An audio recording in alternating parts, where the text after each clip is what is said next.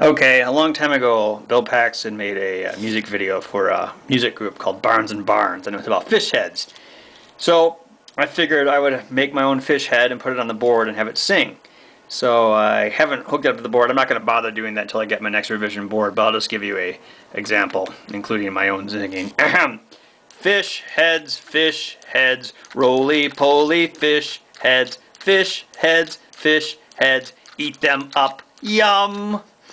And it's just a uh, it's kind of like the can crusher. Just got a solenoid here and it hooks up to a lever. And I need to have an end of stroke switch on this but again I'll when I actually wire it correctly I'll put that in. And yeah it's just a pretty simple thing. It's kind of reminding me of making the possum outfit because I put use my usual trick of making the membrane out of uh, rubber glove material and the rest of it is just foam and here's the mounting brackets.